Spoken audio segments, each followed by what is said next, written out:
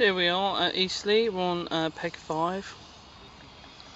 Um, probably what, 30 foot of water in front of us, 35 foot of water, stacked full of bream. And we are hoping for some carp. I've put a winter secret out there underneath the tree.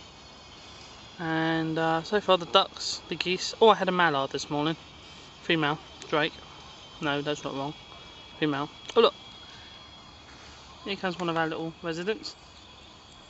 Look at those three. Aren't they cute? Ding, ding, ding. I call that one Hoy, call that one Sin, and I call that one Rap. Yeah, pancakes.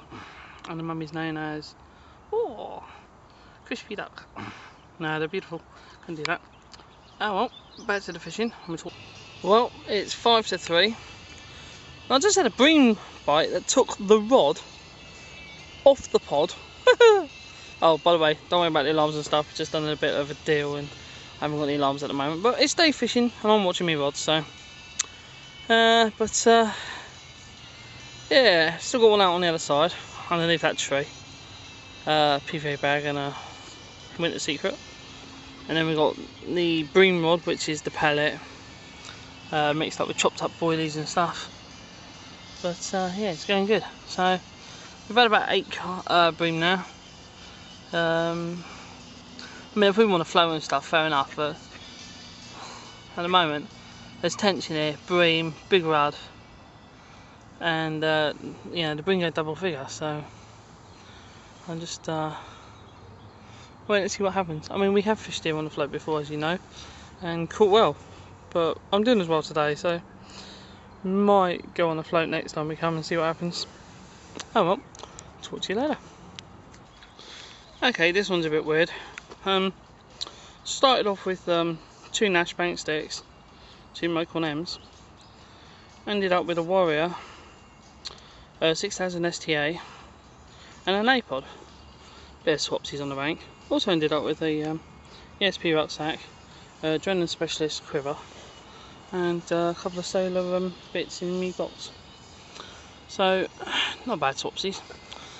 Landing net's broke. Having to borrow my uh, mate's uh, just down the swim there. He's had a bream so far. I think we've had about eight breams so far. I lost one from under the tree over there, which is a bit of a shame. But um, right, let's uh, save the battery and uh, we'll talk later. Okay, well it's uh, five past five now, and here we are at Eastleigh, and we've had uh, ten bream. Four unfortunately haven't been able to be photographed because they've either um, we've had to put them straight back or uh, one just uh, come off as we netted it and rolled back under the net is about three and a half pound. Biggest one today has been about four. We just had out from underneath the tree on a uh, 14 mil uh, winter secret, dipped in Brasson. No carp so far, but we've got an hour and a half left. But I'll probably finish this video now and uh, if there's anything else we'll add it on the end. Alright guys, thanks for watching.